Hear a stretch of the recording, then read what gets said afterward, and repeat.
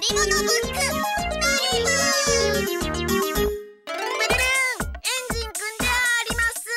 今日は高速道路を走る車を紹介す。るであります。高速道路はい高速道路は信号がない道路なので車がスイスイ走れるのであります。へえだじょじゃじゃーん今日紹介す。るのは巡回点検車パトロールカーとも言い。ます。よ黄色いボディと赤と白のしましまがとってもかっこいいじょあ走り出した。はいこうやって高速道路が安全かどうか見て回るのがパトロールカーのお仕事なのではありますご苦労さんだじょあれパトロールカーの上になんかついてるじふうよく気がつきましたね。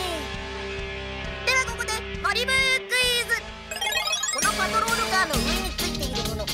これは一体何でしょう？1番周りの車にお知らせをする看板。2番大きなお弁当箱。さあ答えはど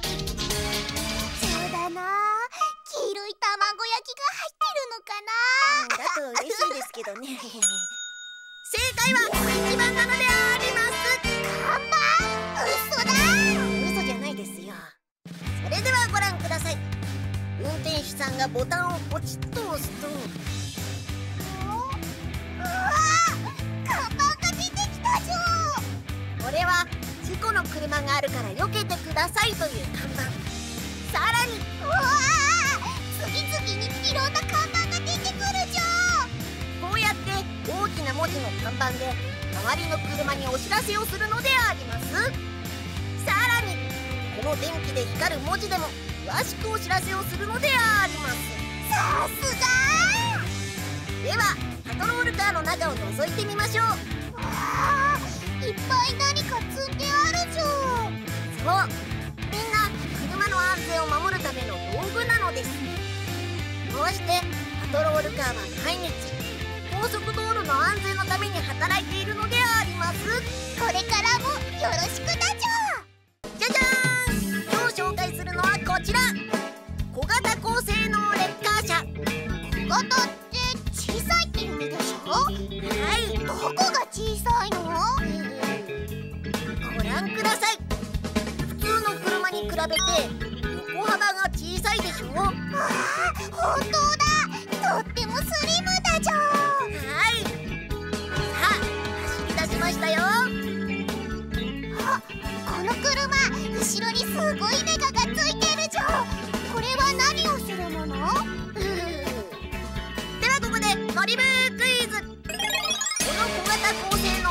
車。後ろにすごい機械を積んでいますがこの機械を使って一体何をするんでしょう？1番壊れた車を助ける。2番お魚を釣る。さあ答えはどっち？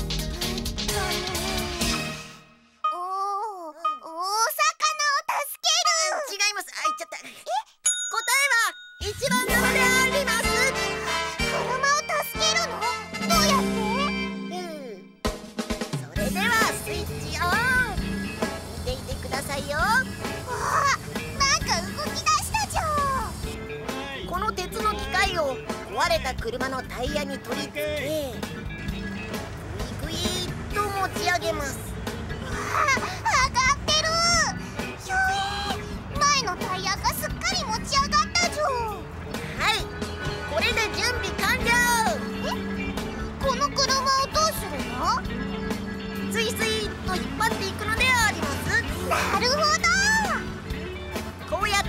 動けなくなった車を助けるのがレッカー車のお仕事なのです。